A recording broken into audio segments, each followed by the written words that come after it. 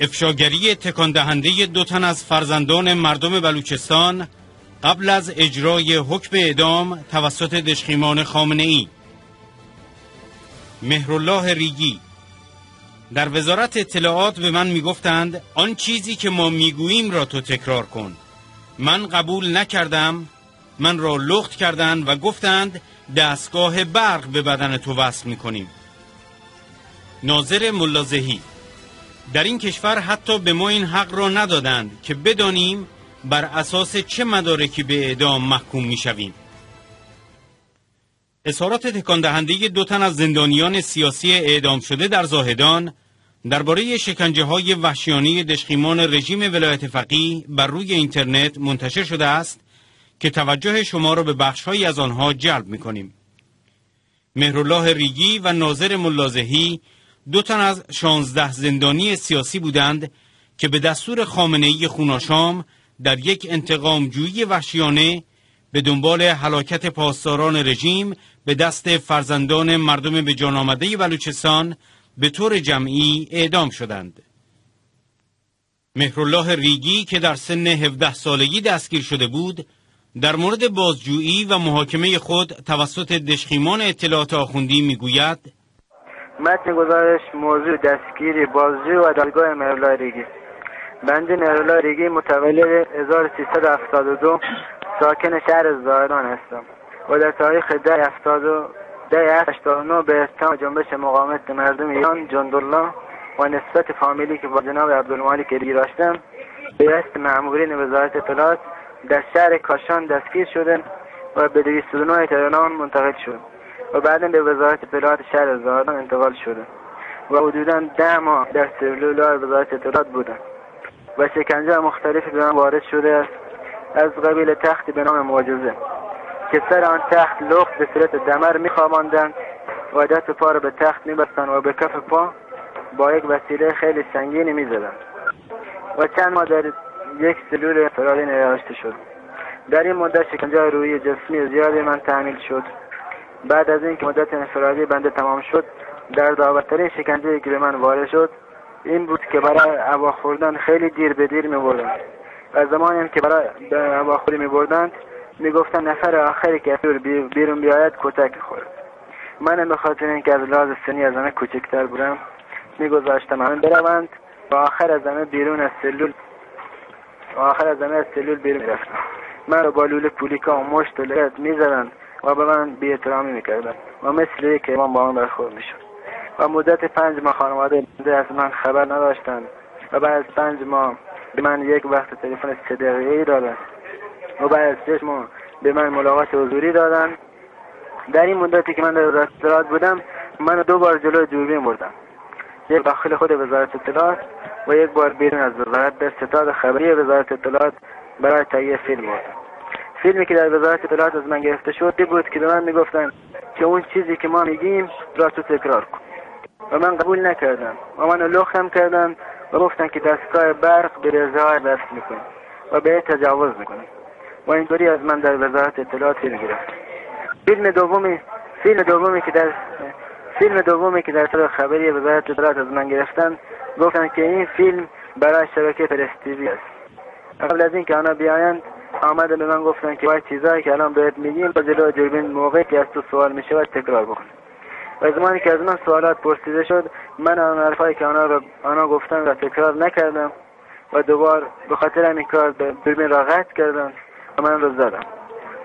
دوباره و دوباره من گفتم دوباره مگه نمیای داخل بازداشتگاه؟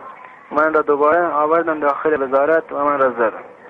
در این مدت دو بار توسط میرشایی بازپرس شعبه شیش هم پرسی شدم و از دوبار طوری بازپرسی, بازپرسی شدم که چشمان بسته بود و فقط کارشناس پرونده من به بازپرس حرفایی را می‌زد که من نمیشنیدم. و در آخر فقط من را می‌گفتن بیا و انگشت و در طول پرسی اصلا چهره بازپرسم را ندید. و چند, چند بار کارشناس پرونده و حتی یک بار خود راستان استان سیستان بلوچستان. مرزیه آمد به من گفت که اگر فامیل تو بیایند تأمین بدن و سلاح خود را کنار گذارند تو را آزاد می‌کنند و بعد از ده من را سلولم بیرون آوردن و به من گفتن امروز تو را به دادگاه می‌بریم و اون حرفای را که اینجا یعنی زیر شکنجه گفته ایم را تکرار می‌کنیم. و دادگاه نمایشی من با قضاوت قامحگولی که اصلا فکر نمی کنم که باشد طوری شروع شد که سه نفر از مامورین وزارت اطلاعات کنار نشسته بودند و دو نفر که خاص من را میخواندند و وکیل من که به یک بغل نشسته بود شروع شد. زمانی که خاص من را خواندند به من اتهام محارب زدند و من هم که مامورین وزارت دست من را فشار دادند یعنی چیزی نگفت. و بعدا ماگولی شروع کرد بحث زدن و حرفایی را می‌زد که اصلا رفت به من نداشت.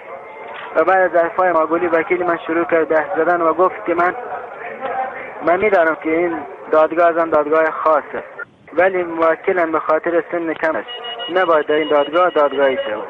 که سریع هم به وکیل من جواب دادن تو کار نداشته باش که سنش کم است یا نه.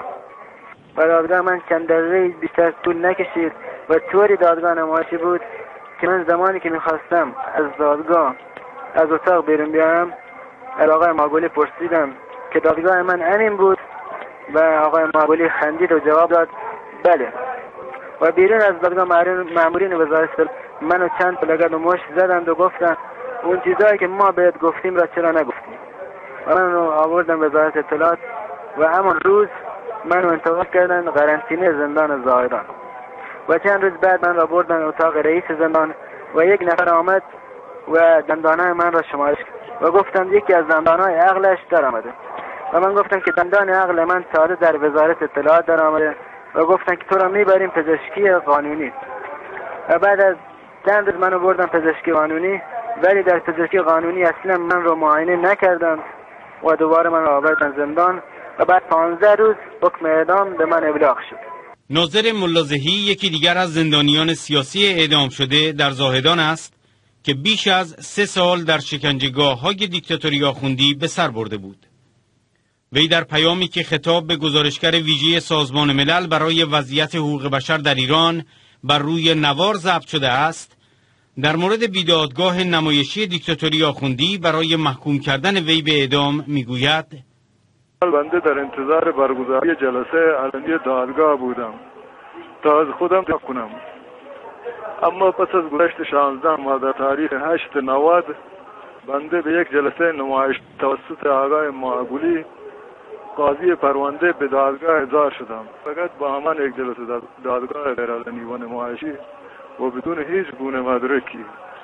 مدرک دلیل و شواهدی در تاریخ هشت نوادک محکوم به اعدام شدم. لازم به ذکر است مجیب الرحمن رئیسی یکی از مخبرین وزارت اطلاعات در حین معمولیت تروریستی از طرف این وزارت. برای ترور دو نفر از شخصیت های سیاسی و مذهبی و کاملا محرمانه به کشور پاکستان رفته بود که در که همانجا به حقیقت رسید. آیا من که تهمات دستگیر شدم؟ حد ندارم در یک جلسه علنی به دادگاه احضار شوم و حد ندارم که برایم روشن شود بر اساس چه مدارکی محکوم شده و اینکه اگر قتلی انجام دادم مدارکی که شاید هنوز وجود باشد که تروریست بودن مجیب الرحمن رئیسی را ثابت می کند برای به حق بودن بنده کافی نیست. چرا که مقامات غذایی در این کشور به ما حتی این حق را ندارند که بدانیم بر اساس چه مدارکی محکوم و اعدام می شویم و همچنین از جناب کمیسر احمد شهید تقاضا دارم برای آزادی بدون قید ش... بدون قید و شرط نه تنها بنده بلکه تمام افرادی که به دلیل دفاع از حق, از حق خود و دفاع از خاک عزیزمان ایران گرفتار زندانهای این نظام دیکتاتور شدهاند نهایت تلاش و سعی خود را بکنند. با تشکر تعاون از آغاز خاطر نشان می‌کنیم این دو زندانی سیاسی که در جریان انتقامجویی دشخیمان خامنه ای به شهادت رسیدند در میان زندانیان سیاسی شجاع زندان زاهدان بودند که طی اطلاعیه‌ای قتل عام 52 تن از مجاهدان اشرف را محکوم کرده و در بیانیه خود که در شهریور ماه بر روی اینترنت منتشر شد نوشتند مجاهدین به خاطر دفاع از حقوق ملت ایران کشته شدند. اینها کسانی بودند که خانه و وطن خیش را ترک کردند تا از حق و حقوق ملت ایران دفاع کنند.